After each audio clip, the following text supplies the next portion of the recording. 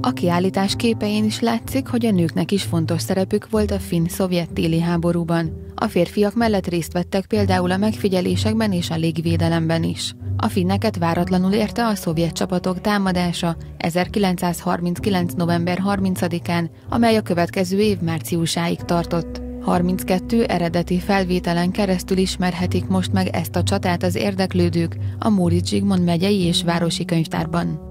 Finnország Magyarországi nagykövetségéről kaptuk ezt a vándorkiállítást, és november 30-áig van Nyíregyházán. Ez a kiállítás itt a könyvtárban október 21-ig látogatható.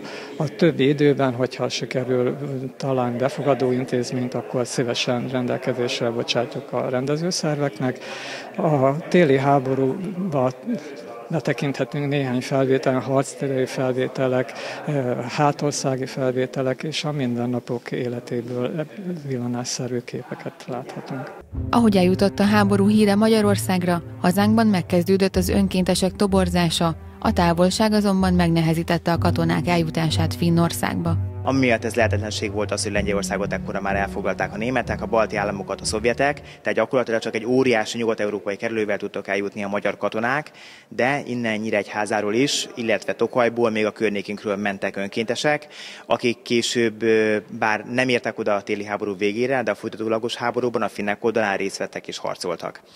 Úgyhogy Nyíregyházáról Csutkai Jenő volt az, aki, aki részt vett ebben a harcokban illetve Tokajból volt egy, egy fintestvérpár. A finnek szerény felfegyverkezése körülbelül száz éves lemaradást mutatott a szovjetekkel szemben, azonban más területeken több előnyük is volt. Nem volt számukra ismeretlen a téli erdei harc, tudtak sielni és ismerték a terepet, de mégis elvesztették a harcot a megszállókkal szemben.